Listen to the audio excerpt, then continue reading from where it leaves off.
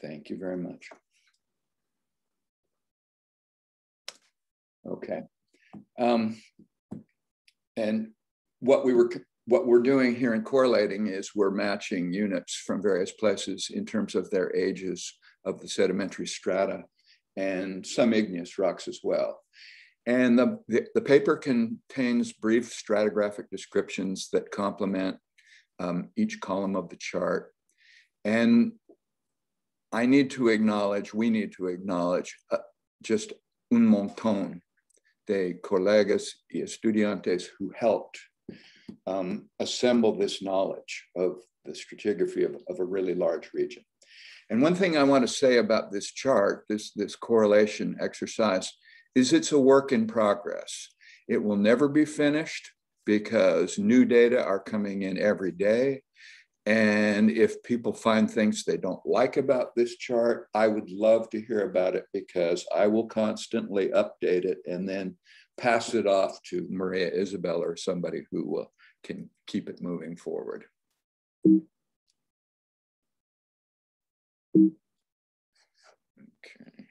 Okay.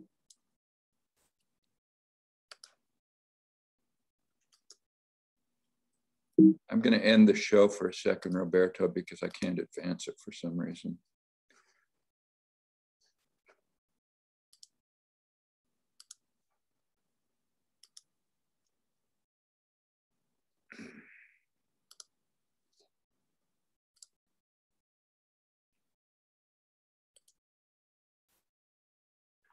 Okay, this is one of two figures in the in the paper that Maria Isabel put together, and it shows the locations of the various columns that, that we present in the correlation chart. And you can see they run from up here in the southwestern United States and Baja, the Baja Peninsula, all the way south through Mexico and into uh, Guatemala. And finally, um, we have columns in Colombia as well. I think maybe it doesn't like my laser pointer.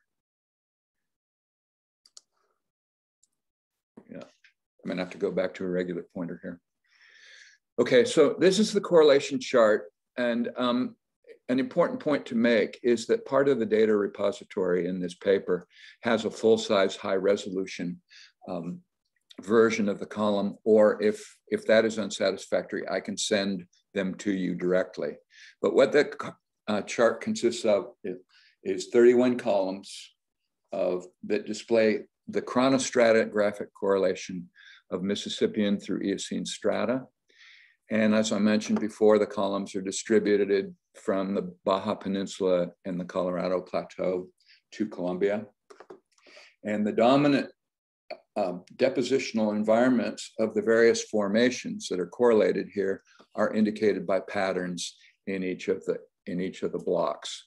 And then there's a color overlay of tectonic events that uh, um, are related primarily to the Gulf of, of California and the Gulf of Mexico and subduction history of Western Laurentia during the Carboniferous and Permian, um, subduction beneath Pangea during the Permian through Jurassic, and subduction beneath North America through from the late Jurassic through the Eocene. So that basically the chart uh, spans the assembly and breakup of Pangea. Okay, so there's not much to talk about there, is there? Okay, I'm, I'm just kidding. What I'm going to do now is I'm going to show you how basically we got to this point.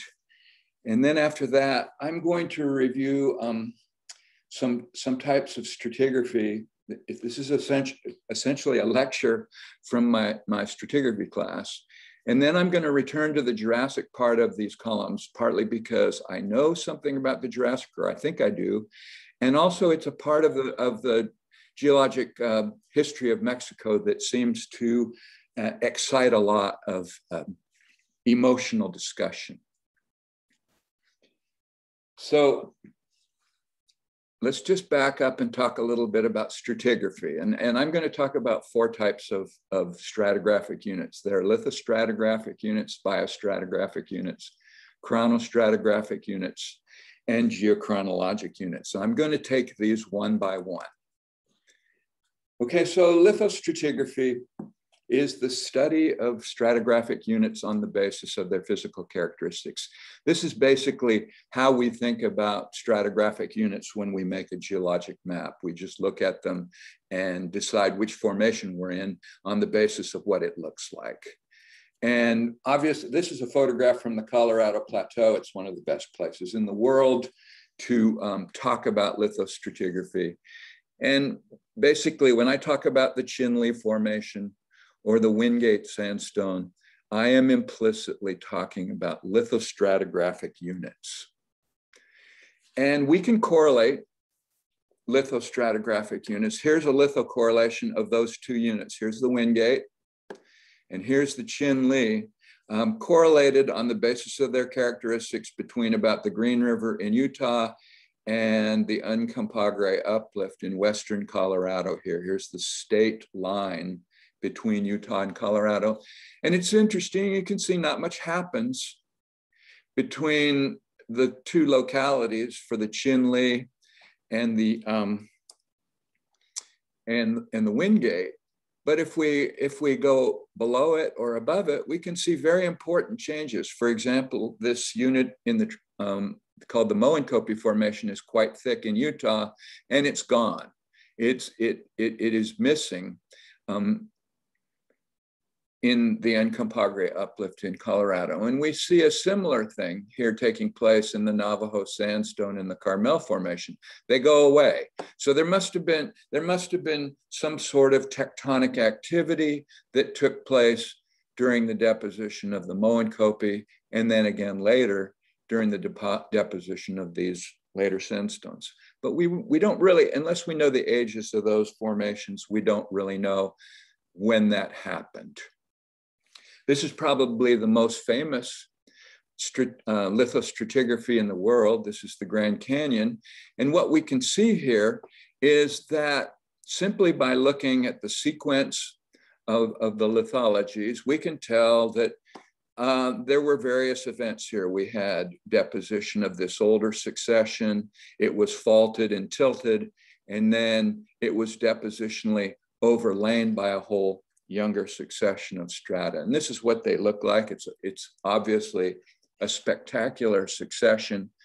And so we can build a geologic history here simply by looking at superposition, the placement of unconformities, and um, but we don't necessarily know when those events took place.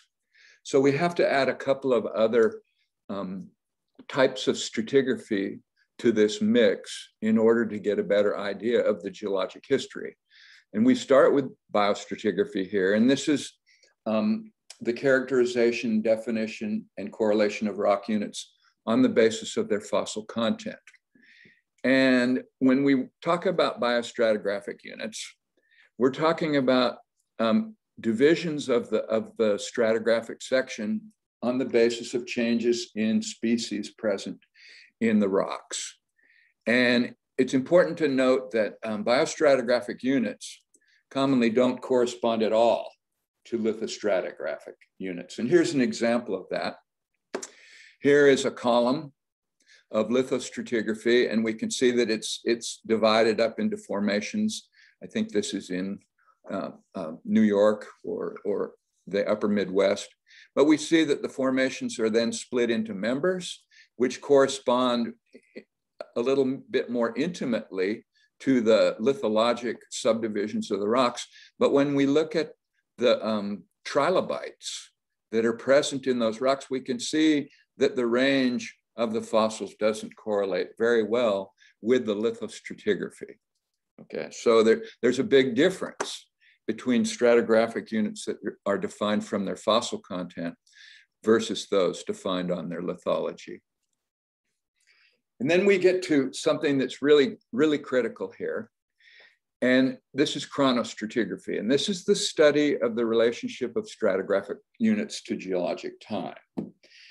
And a chronostratigraphic unit is, is an interval of, of strata that was deposited during a specified interval of geologic time. And I've just put the names here, but for example, we would refer to the Jurassic system as the interval of rocks that were deposited during Jurassic time.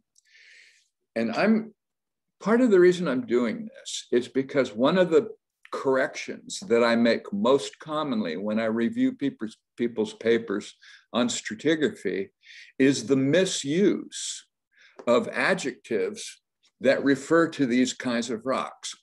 These are rocks, not time. And so what we do is we use the adjectives lower, middle, and upper to describe divisions of the Jurassic. For example, lower Jurassic rocks, not early Jurassic rocks, okay? Etch that in your memories. And then finally, there are geochronologic units. And this is, this is critical because this is where we get to geologic time. And these are the more familiar terms like periods and epochs. And when we refer to geologic time, we use the adjectives early, middle, and late to describe, for example, epochs, which are divisions of Jurassic time. So we would refer to early Jurassic time, early Jurassic sedimentary basin, early Jurassic fault, early Jurassic paleogeography. I'm on a soapbox now, you can tell. And then finally, we get to the, this a critical um, aspect of geology that we all take for granted, and that is the geologic time scale. And what the geologic time scale is, is a hierarchy of, of global chronostratigraphic units. Okay, so these are rocks deposited during certain periods of time.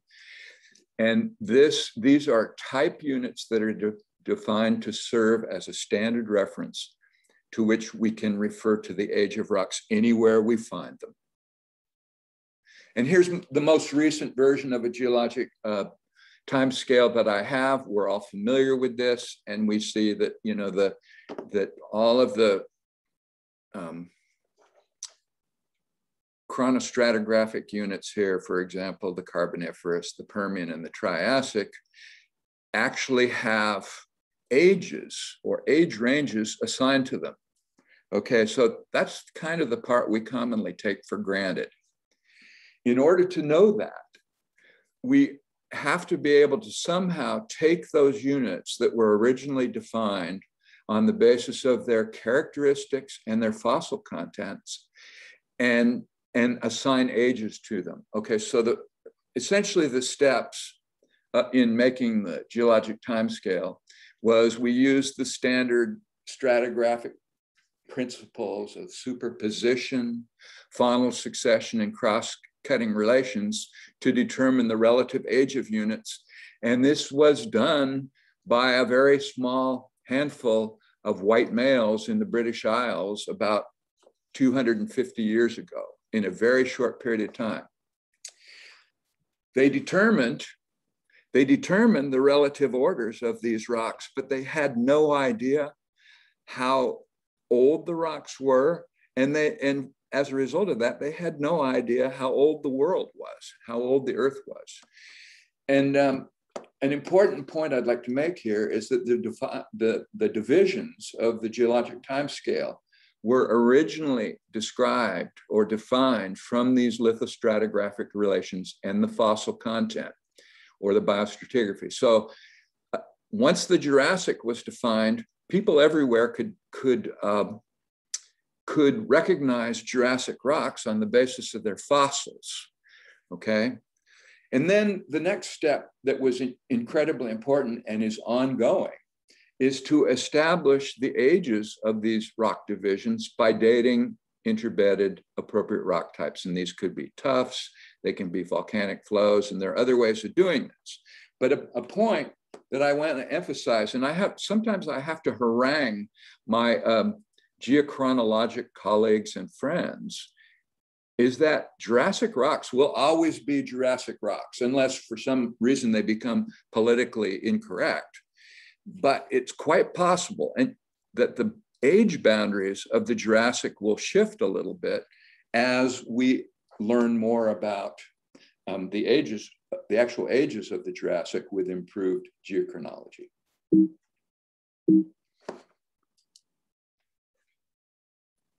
Okay, and so getting back to the correlation chart, the most important form of correlation is chronostratigraphic correlation. And this represents matching rocks of similar age using geochronology. And the rocks can be correlated on the basis of tephra layers, into instantaneous or catastrophic depositional uh, events, soil horizons, uh, although these might contain a lot of, of time in themselves, transgressive, regressive events. But again, we're trying to then date them so we know how old they are.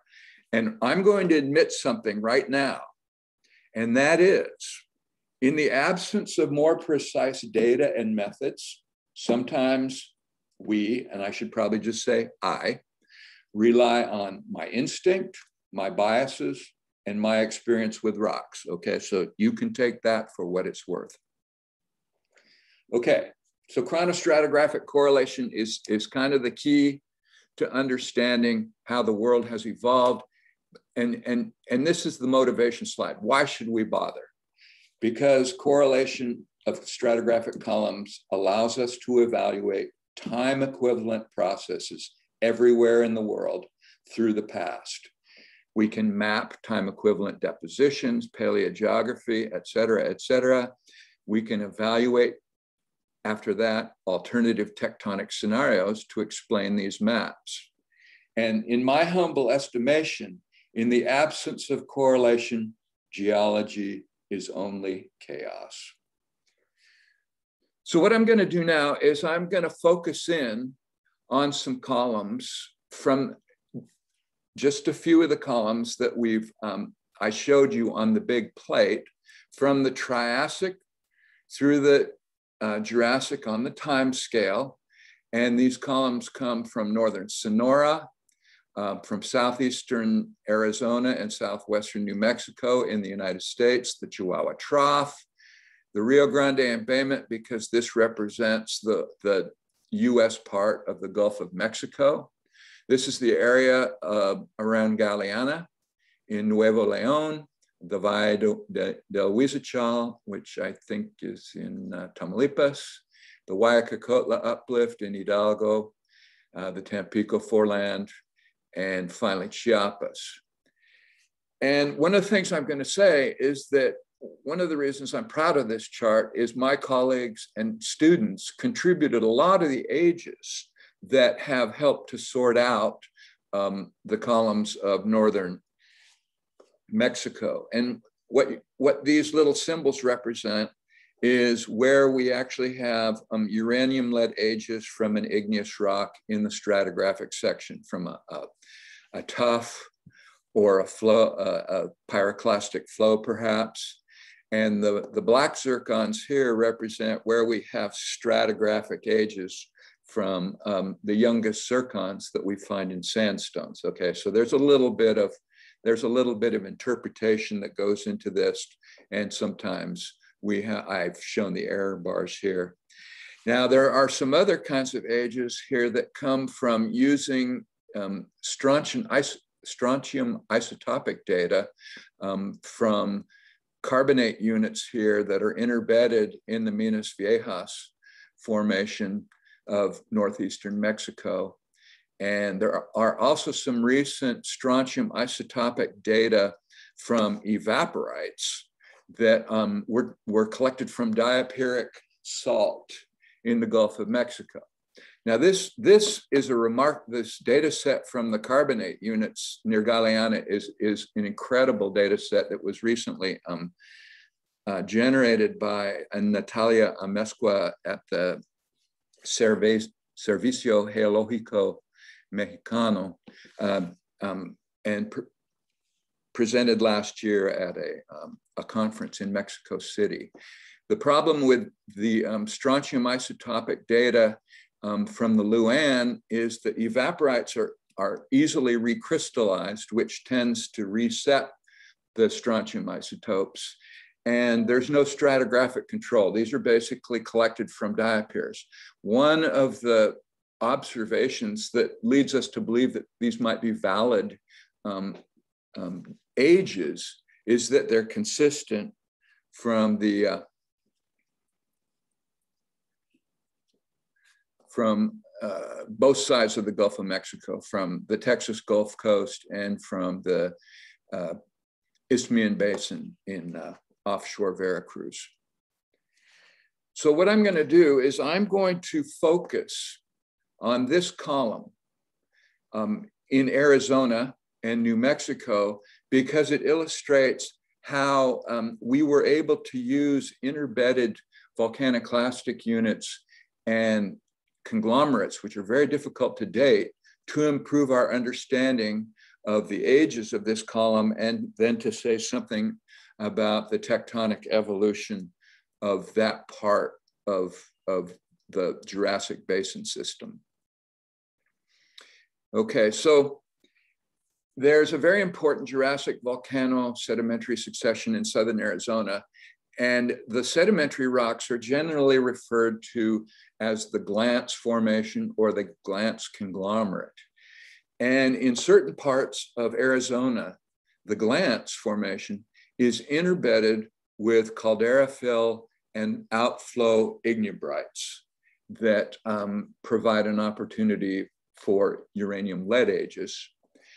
And the Glance Formation is, a, is was deposited largely in alluvial fans, and so it, it lacks fossils. The biostratigraphy is no help.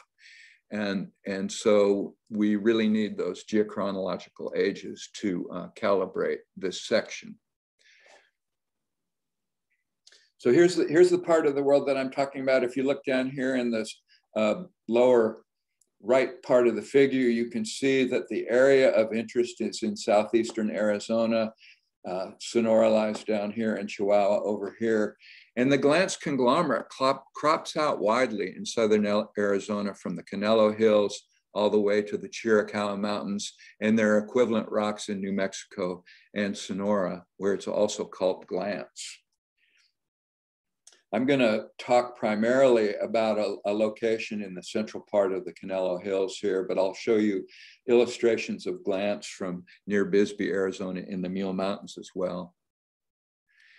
Now, an interesting aspect of this part of the world is that there are Jurassic granitic rocks that have been interpreted as the fill of calderas that were formed during, during the Jurassic. There are also laramide calderas and younger calderas in, in southern Arizona, but um, these Jurassic rocks have alternatively been um, interpreted as um, the result of subduction related arc magmatism or emplacement within an extensional regime, perhaps some sort of a, a, a rift environment.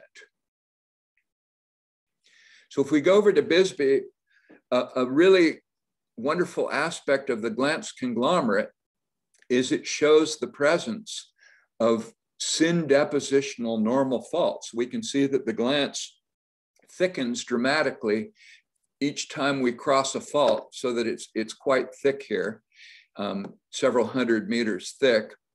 And it also illustrates the progressive erosion of these uh, footwall blocks. We can see here a limestone congl clast conglomerate that was derived from the Paleozoic section, a metamorphic clast conglomerate that was, or a mixed, excuse me, this is a mixed clast conglomerate that was um, derived from the Paleozoic strata and from clasts of the Pinal schist here, or from the Pinal schist.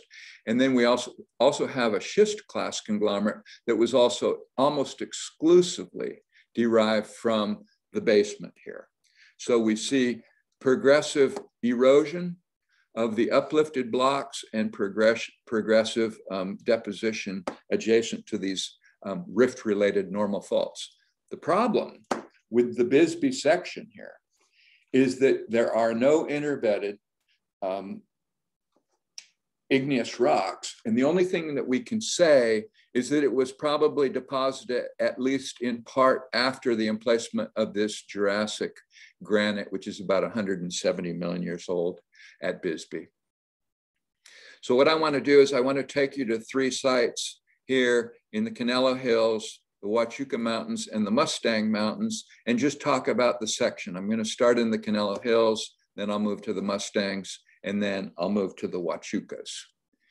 So there's a, there's a fabulous uh, volcano sedimentary succession exposed in the Canelo Hills that consists of very thick uh, pyroclastic rocks here that are referred to as the Canelo Hills volcanics. And then there's a, a section of um, silicic breccias with slide blocks of Permian rocks um, interbedded in them. And then eventually what happens is the section becomes more and more conglomeratic. And what we see here are outflow sheets or, or thinner ignimbrites interbedded with the conglomerate. And there's, a, a there's an andesitic breccia um, interbedded in the section here. And finally, at the top of the section, there's a little bit of Aeolian sandstone capping the preserved section there. And uh, a structural geologist um, named Chuck Kluth um, did his dissertation on these, on these rocks, and he referred to them as the rocks of Mount Hughes. He just called this whole section the um, basically the Mount Hughes formation, although it was, it, he called it rocks of Mount Hughes because it's an informal term. And three of the four members are interpreted to be, be present here overlying the Canelo Hills volcanics. So I thought, seems like a reasonable place to go to try to figure out the age of the glance, although there are a lot of people who can't agree on what to call these rocks. It seems like a good start would be to, to date some rocks here. So I collected um, several samples of the, of, of the pyroclastic rocks through the section.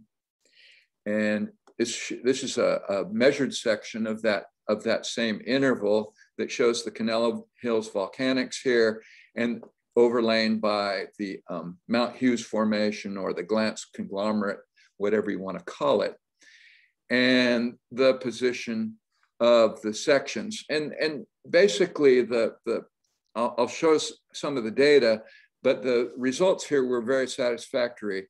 The Canelo Hills volcanics and the immediately overlying um, breccias and ignimbrites yielded ages of 178 million years.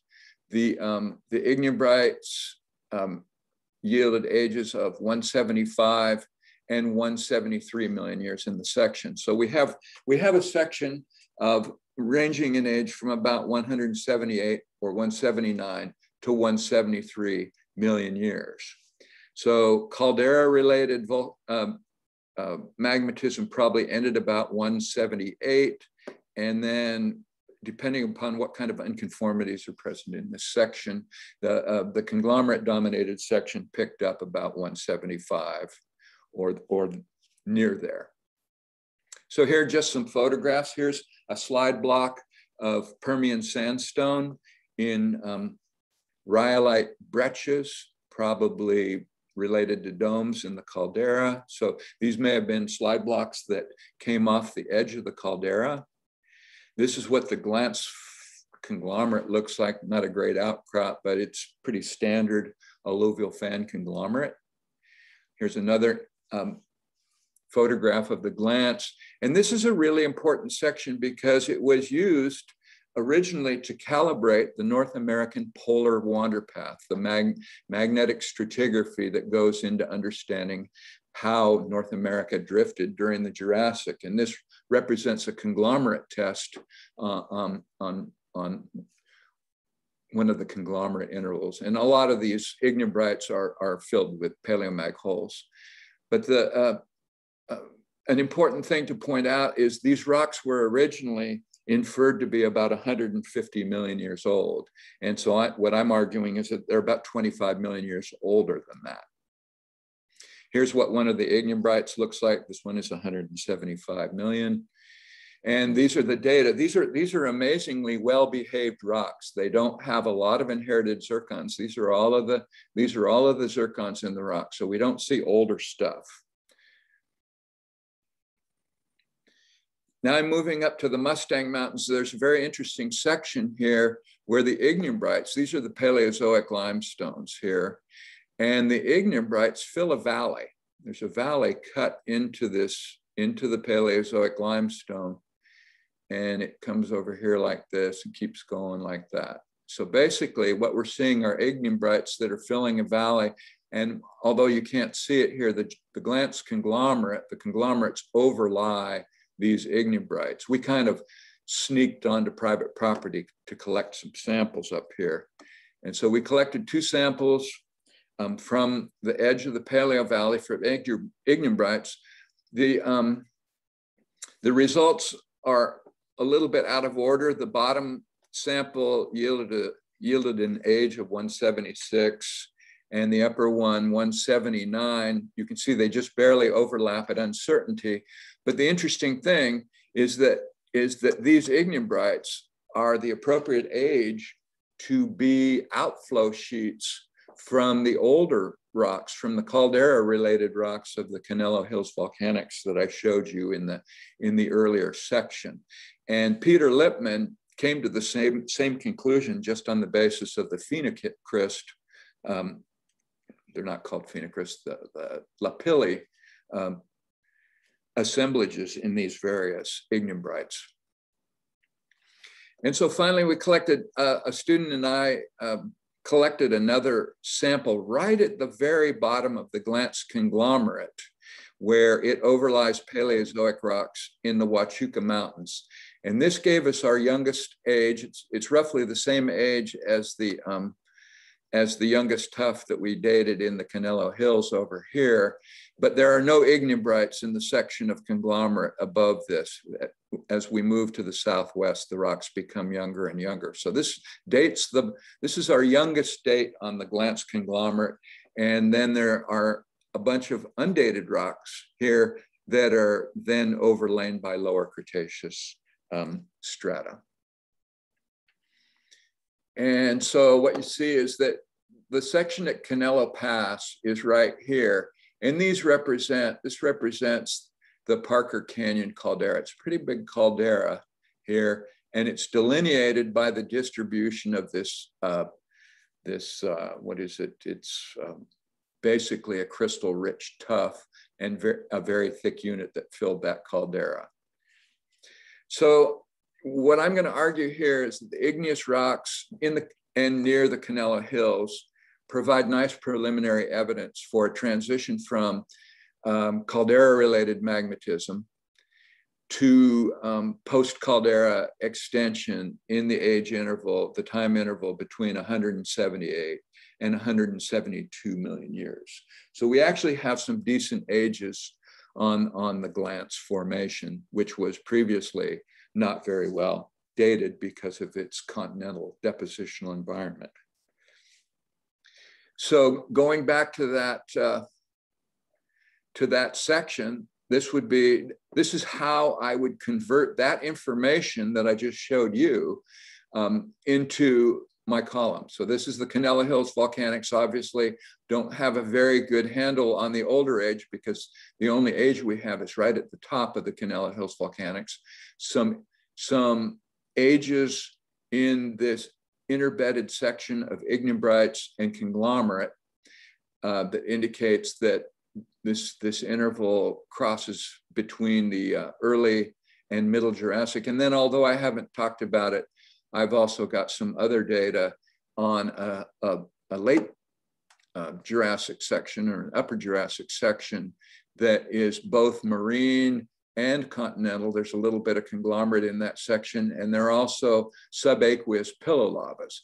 And the interesting thing is that corresponds quite well with an interval of strata in the uh, in the Chihuahua Trough called the La Casita Formation that Carmen Tarango worked on for her master's degree. These ages are actually the result of a, a master's project by Enrique Ruiz. So, so to summarize what I've just said in a lot of words is that early Jurassic caldera related um, magmatism probably related to back arc extension, although we can debate that if you'd like, ended in the time interval 179 to 172 million years.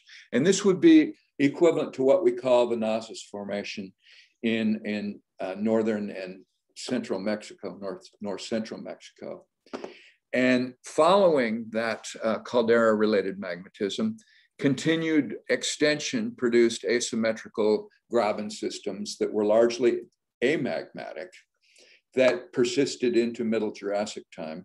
And this would be the upper part of the Plomosas Formation in Chihuahua. This would be early salt deposition in the Gulf of Mexico, and it would be equivalent to the Minas Viejas Formation in onshore northeastern Mexico.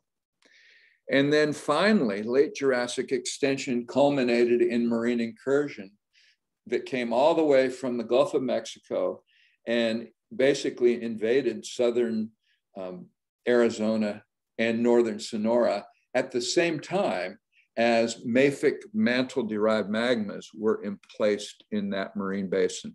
This probably took place in a back arc region during Kimmeridgian time, about 154 to maybe 151 million years. So this would be the Cucurpe Formation in Sonora, the uh, Crystal Cave Formation of Arizona.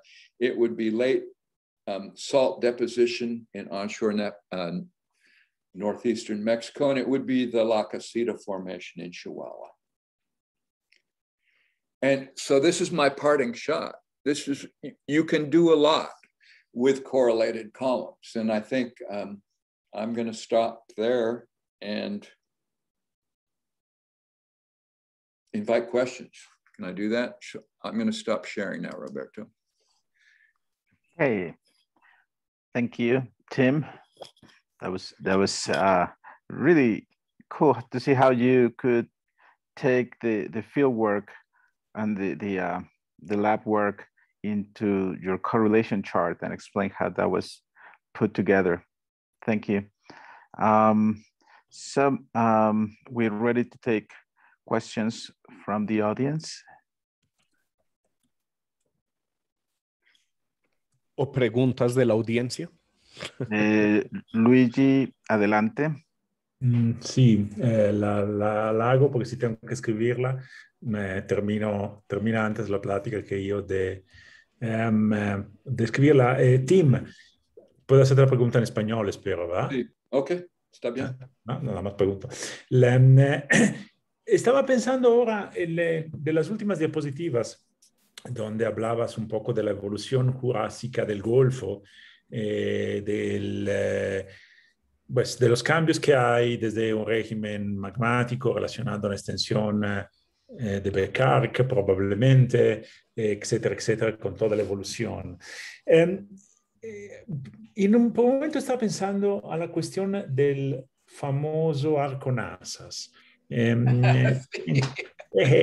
entonces, bueno, el arco Nazas de alguna manera el, eh, ha sido manejado como pues eh, un arco volcánico, o sea, un arco relacionado con la subducción, la famosa placa mezcalera y todo esto. Pero en realidad, eh, yo siempre tuve la impresión y vamos, em, creo que un poco esas diapositivas iban por ahí, que em, todo ese magmatismo que está asociado a NASAs, al, arco NASAs, entre comillas, en realidad podría ser algo más. Podría simplemente ser la respuesta del rifting, de la ruptura del Golfo, y entonces el la ascenso astenosférico, la fusión parcial, eh, el emplazamiento de rocas magmáticas, evidentemente, que pero nada tienen que ver con una solución. Es decir, ¿Tú estás convencido que necesitas una placa en solución para generar el arconazas o hay la posibilidad de que fundamentalmente este concepto, por así decirlo, se tenga que, eh, se pueda ajustar o se tenga que ajustar? Ah, gracias, Luigi. Es, es, una buena pregunta. Ah, de verdad, me gusta el modelo de Martini y Ortega Gutiérrez, um, que la formación NASAS es más consistente con uh, magmatismo relacionado a la extensión de la corteza continental en una zona tras arco. Y hay un revisité un, artículo muy importante de, Krebs y Ruiz. Mucho del mundo, incluido a Kathy Busby, está feliz con la idea o la hipótesis que las calderas en el sur de Arizona son los re resultados de un arco. Pero, de acuerdo a Krebs y Ruiz, uh, la geoquímica está compatible con un ambiente um, extensivo. Y, y, también este es consistente con la correlación de esas calderas con la formación NASA, ¿sí? Una cosa que necesitamos explicar es cuando vamos un poco al norte, en California, um, hay un batolito del Jurásico que se llama el, uh, la batolita de Sierra Nevada, que es un resultado, todo el mundo acepta que este volumen de, de granitos está um, el resultado de subducción de la placa Farallón posiblemente. Una ventaja de la correlación que hemos visto y, que ne necesitamos extender al norte a los Estados Unidos, más al norte, es que debemos explicar por qué tuvimos un arco, un batolito muy grande al norte en California. Y cuando acercamos um, la frontera e, entre los Estados Unidos y México, eh, ¿cómo se dice? El ambiente del magnetismo cambia. Y he visto recientemente un, una plática muy, muy interesante de Todd Lamaskin, y tiene un modelo, pienso que está publicado o va a ser publicado muy, muy pronto en el boletín de GSA, que el, el tipo de subducción fue muy diferente en los Estados Unidos y tuvimos una transición hacia el sur hasta un tipo de magmatismo que fue un resultado de slab rollback. Y durante el emplazamiento de magmas de la formación NASAS, en el mismo tiempo tuvimos, um, como se dice, intrusivos jurásicos en la península baja y más al oeste y podemos considerar posiblemente que la formación NASA realmente fue um, emplazado, depositado en un ambiente de trasarco. Y, es, otra vez más, es, es, la ventaja de, de, las correlaciones. Podemos correlacionar mejor las, el magmatismo del Jurásico en, en California con el magmatismo en, en, en, México, en el sur de los Estados Unidos. Ok, gracias. Por nada. Eh, ¿Alguien más tiene alguna pregunta que le quisiera hacer a, a Tim? Eh, Roberto, yo tengo un pequeño, digamos, anuncio, comentario y es que eh, Tim eh, mencionó dos trabajos eh, más o menos recientes en donde se fecha la sal Luan y también la sal de Campeche o digamos la sal en el lado mexicano. uno de estos trabajos lo hicieron Jim Pindel, Bodo Weber y colaboradores y está en el volumen especial y simplemente quería compartir con todos en el chat eh, el vínculo de este trabajo, mm, dado que no va a haber una presentación formal al respecto. Hemos invitado a Jim Pindel y él va a dar una charla un poco diferente, pero eh, para que eh, todos estén enterados, pues que se modificó un poco el fechamiento de, de, la sal, ¿no es cierto? Que hoy en día se sabe que es un poquito más antigua en el Jurásico y este trabajo es, es interesante y, Tim lo mencionó. Gracias. Gracias, Ube. Em, ¿Alguien más quisiera comentar? Eh, Mónica Ramírez tiene una pregunta. Dice, es un poco filosófica. Este, dice que la va a preguntar en español. Eh, Tim, eh, uh, do you want me to read the, the question for you in English or you can? No, no, no, you can read it in, in Spanish. I'm, I'm reading it at the same time. Okay. Dice, la, la, la pregunta es, ¿por qué es necesario establecer edades absolutas en las unidades cronoestratigráficas? Dice, si las extinciones no ocurren al mismo tiempo en todo el mundo, ¿por qué las unidades geocronológicas deben empezar al mismo tiempo en todo el mundo? ¿Cuál es el objetivo de asignar una edad absoluta a cada división temporal de la historia geológica si a veces no tiene sentido localmente. Ah, sí, es, una pregunta filosófica, ¿no? Sí, en ese caso hay algunas extinciones. Ok, voy a reempezar. Eh, los conceptos de extinciones en, el registro fósil han cambiado un poco uh, después de la, ¿cómo se, la, ¿cómo se dice? La realización que fueron extinciones mundiales, ¿sí? Y seguramente hay extinciones más o menos síncronas, como en el límite cretácico uh, cenozoico, pero pienso que una cosa importante es que necesitamos una escala, una, uh, ¿cómo se dice? La, escala uh, temporal geológico para comparar uh, las rocas en todo el mundo.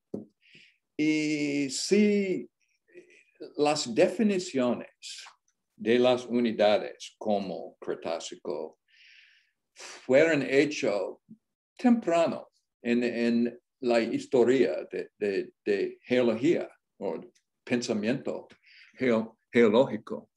Y pienso que es un, es un buen, lo que tenemos es un buen lugar para empezar, para comunicar sobre eventos síncronos um, para discutir paleogeografía, para discutir uh, eventos tectónicos um, que pueden ser un poco controversiales. Y seguramente con uh, metodología mejor en, convenciones, en procesos o, técnicos geocronológicos, vamos a, debemos cambiar un poco nuestros conceptos de, ah, de, la evolución de, la tierra y los procesos, procesos de deposición, pero necesitamos, y no sé la, palabra, necesitamos un formato, un rubric para, para discutir los conceptos difíciles que estamos interesados en resolver, ¿sí?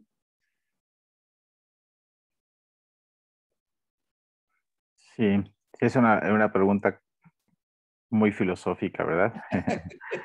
De Mónica. Nada, de nada, Mónica. Mónica, da las gracias.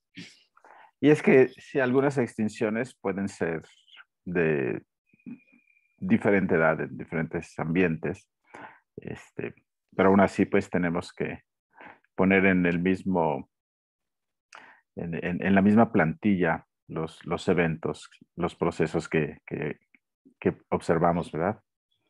Eh, quiero ver si alguien más tiene alguna pregunta para Tim.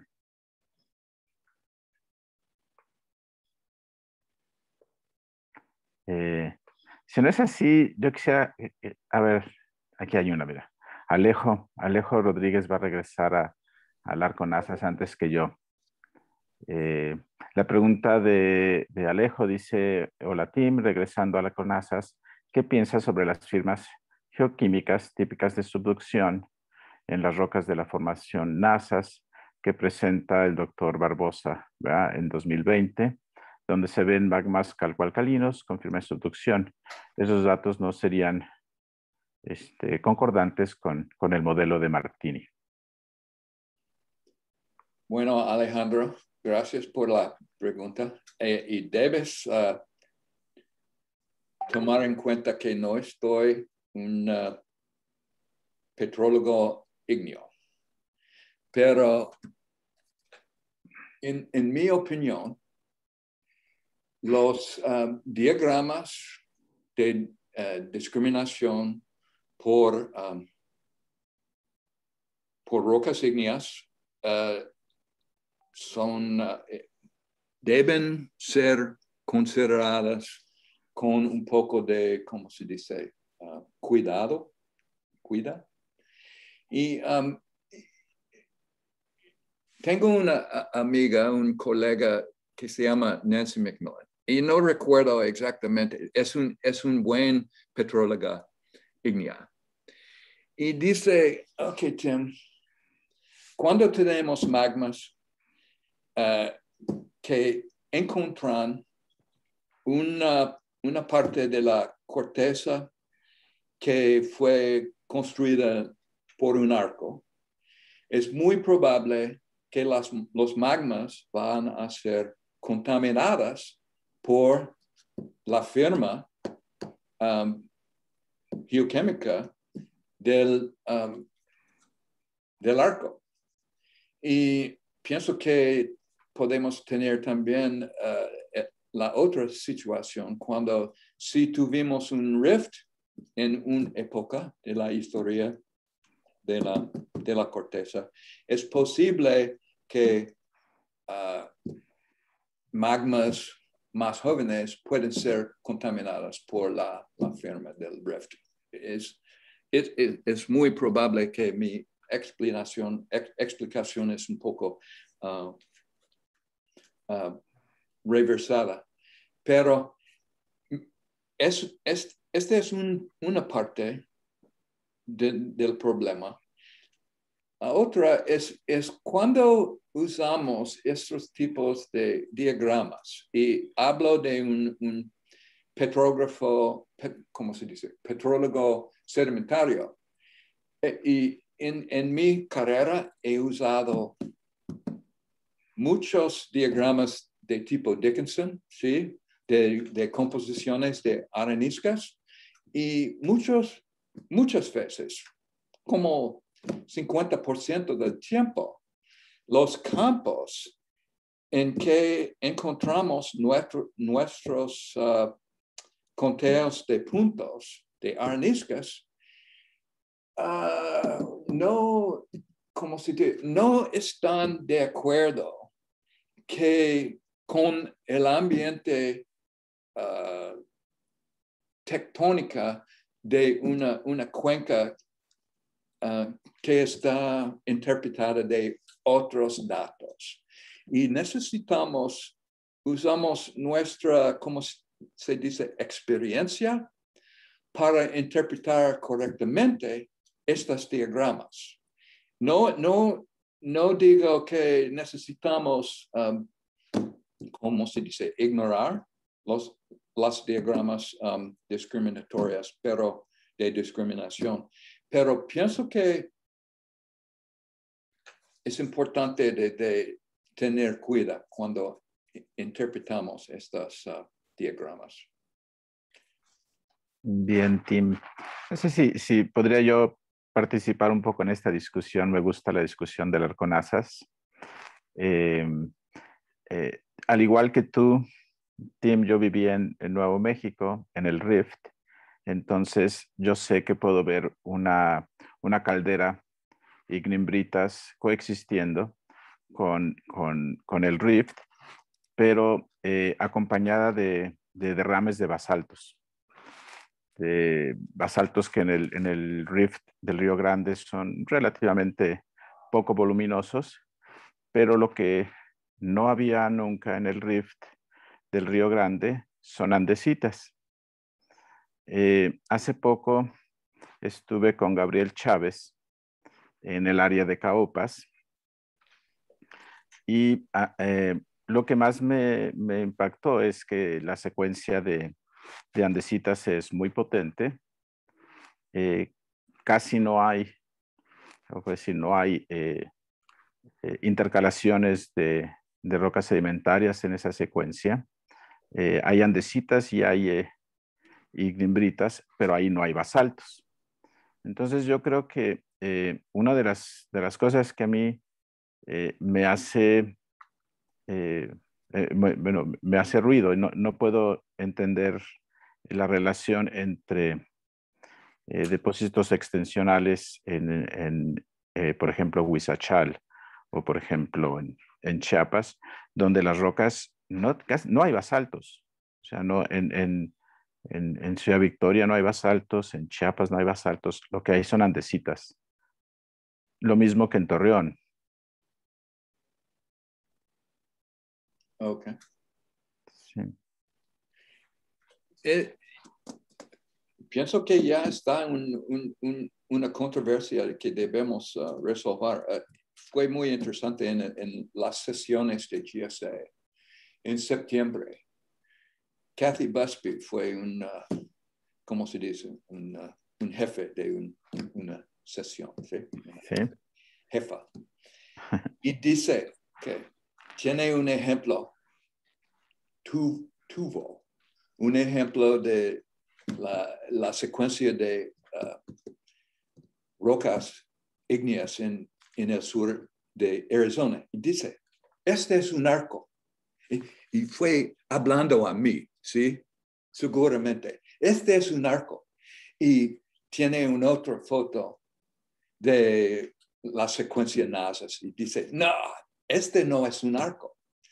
ok, ¿cómo sabes? ¿Sí? Es, es los, uh, los datos que re, ¿cómo se revisado, que revis, revis, revisos, revisas, son muy importantes, pero el problema es porque la mayoría de los, las secuencias uh, de la formación uh, son empobrecidos, empobrecidas en, en rocas ígneas. Y es posible. Y tuvimos esta discusión en el pasado y, mi pregunta es, ¿por qué no, no, no vemos los, uh, los batolitos de la formación NASA's? Es, es como uh, el sistema arco de NASA's no, nunca fue exhumada, ¿sí? Exhumado. Es, es, es, un, es un, una observación interesante, pero estoy, es posible, posible que ha visto estos datos, pero Gary Gray tiene un, una muestra cerca de, uh, en, en, en uh, ¿cómo se llama? En, en uh, Tlapacoyan. Uh, al, este de um, en Caguasas, en, este, en Guayacocotla. En, la mesa central. Es, es, un, es un, un, granito muy, muy famoso con una edad de como, pienso que es uh, mioceno, pero tiene un, tiene un grupo muy grande de, um, de zircones de Jurásico. Pienso que es de, del Jurásico. Y mi pregunta es si es posible que el batolito jurásico está abajo y esos magmas del de, de, fue contaminado por circones de, un, un batolito verdad del, del, del Jurásico que, ya está en el, en el subsuelo. Bueno, eh, vamos a, a, a, tomar una última pregunta que es de Alex Iriondo y después de esa cerramos. Alex. Hola, buenas tardes, Tim. Gusto verte. Gusto ver a todos los demás. Eh, comentaste que Nancy Macmillan no descarta que la señal calcoalcalina de las rocas jurásicas que estamos discutiendo eh, sea una señal adquirida por, por un proceso de contaminación de unos magmas, eh, bueno, contaminación de una corteza de carácter calcalino resultado de la subducción. Pero si fuera ese el caso, ¿qué magmas estaríamos fundiendo? ¿O qué magmas estarían participando en ese proceso de contaminación? Eh, ¿Un arco de qué edad estaríamos fundiendo?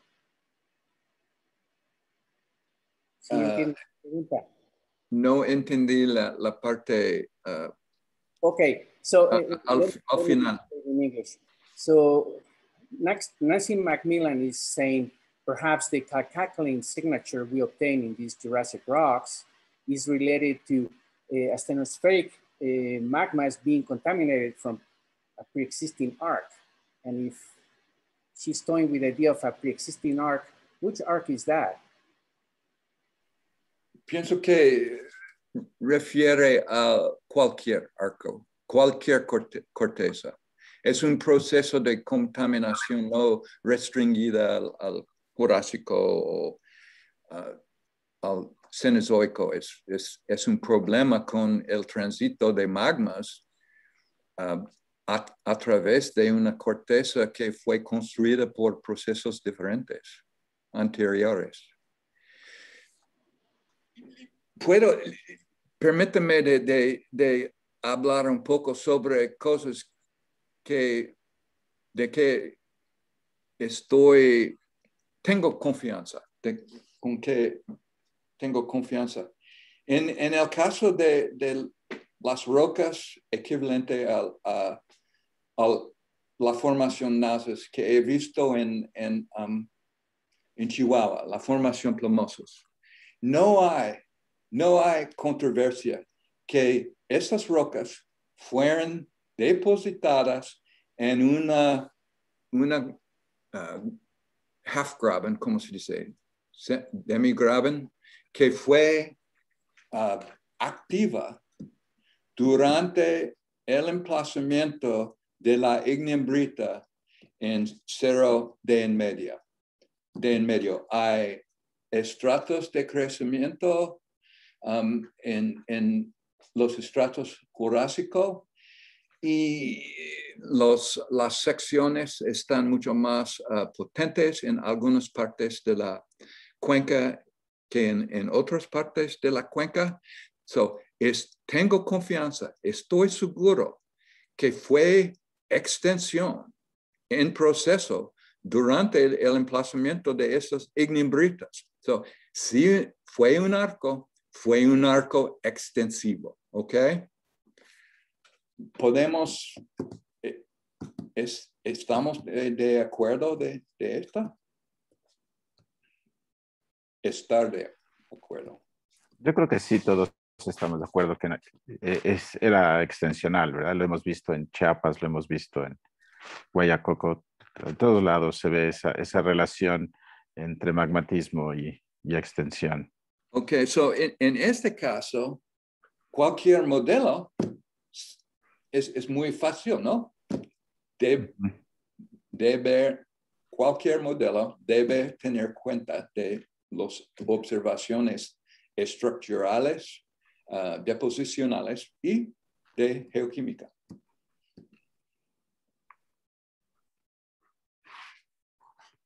Eh, déjame ver. En, en, YouTube no hay preguntas. Eh, entonces, eh, yo creo que le agradecemos a ti mucho por su presentación y le agradecemos, agradecemos mucho a la audiencia por acompañarnos. Eh, les deseo a todos Muchas gracias para la oportunidad y, y, me da mucho gusto de, de ver todos en el sur.